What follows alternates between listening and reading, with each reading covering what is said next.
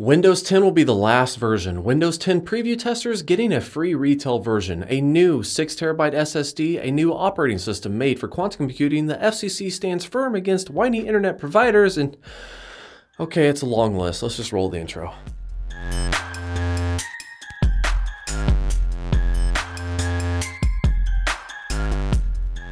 The new Windows 10 might just be the last version from Microsoft. Confirmed by executive Jerry Nixon, they plan to move towards a modular design that allows them to change or upgrade different items as they go along.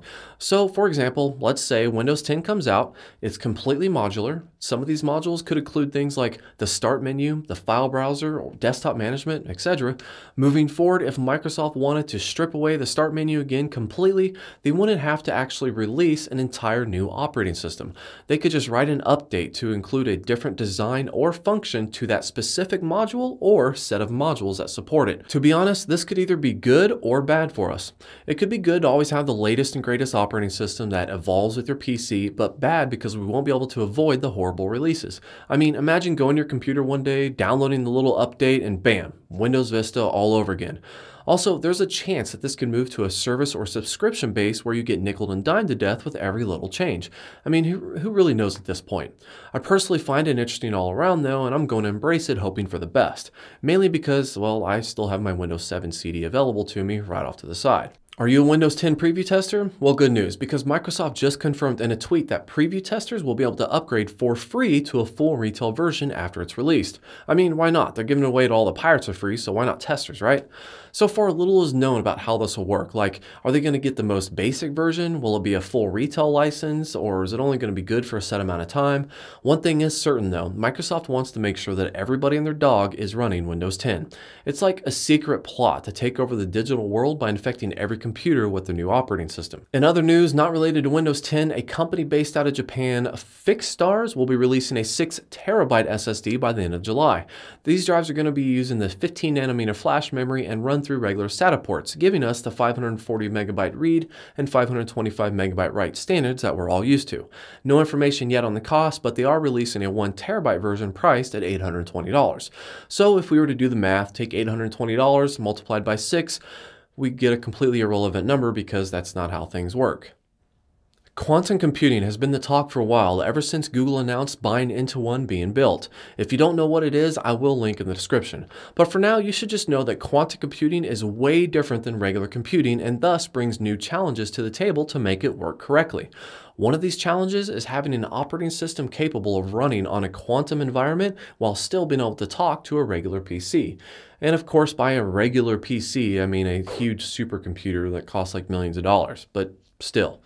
The new operating system developed by Cambridge Quantum Computing is called T-Line Kit or T-Kit. Now, while the news in itself can seem a little anticlimactic, it's still a big step in achieving a real functional quantum computer that can correct its own errors and compute things on a level we could only dream about.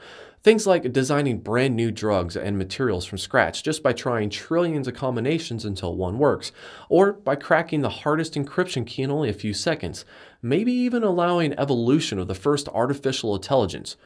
Which, you know, now that I kind of say it like that, I can't really help but think of Terminator.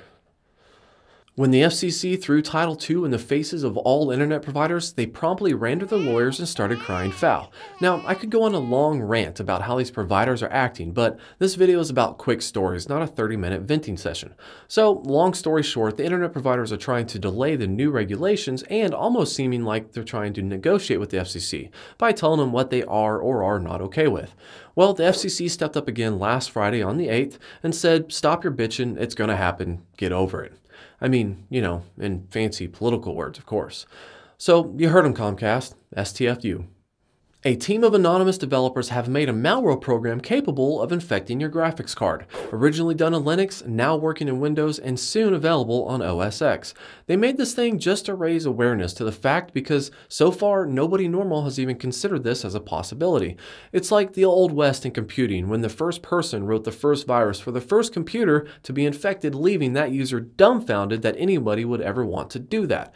Not to sidetrack anymore, but the first virus was written in 1971 by Bob Thomas. It was called the creeper virus. It like, popped up and said, I'm a creeper, catch me if you can, or something like that.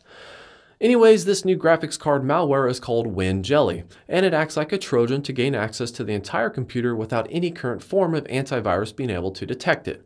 So yeah, there's that. Do you have an old hard drive sitting on a shelf or in a drawer somewhere with a bunch of valuable information on it that you would expect to be there next time you plug it in? Well, as long as your method of storage is at least somewhat rational, you have a fairly good chance of it still being there when you boot it up 5 or even 10 years from now. The same can't be said for SSDs. A new article that I will link in the description below outlines how storage temperatures can affect the already short amount of time an SSD can retain data without power. I mean, we're talking like 1 to 2 years here. So if you must store a digital cold copy of your family photos, don't do it on an SSD. Before I leave the topic of cold storage, you should meet ChillHub, the world's first Linux-powered smart refrigerator. This thing comes packed with two USB ports, built-in Wi-Fi, and a bunch of internal sensors that can be viewed or controlled from a computer. With this new technology, you can visualize everything in your fridge, change temperatures, or even write a virus that spits water on anybody that walks by. Retail will be $1,000, but pre-orders are only $800. So what do you think? Is this stupid or cool? Leave a comment below. I know this video has been longer than most of my other videos, but hey, there's a lot to talk about. So if you liked it, make sure to show a little love, click the like button below. And if you want to hear more, don't forget to subscribe.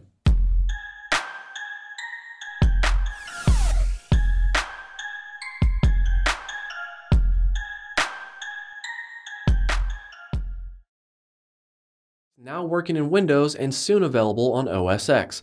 They meant powered smart refrigerator. This thing's come. Make sure to click the like button.